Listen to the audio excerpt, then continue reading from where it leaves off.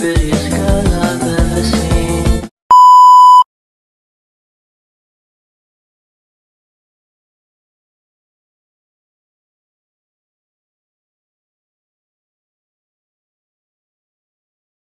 Once upon a time, I met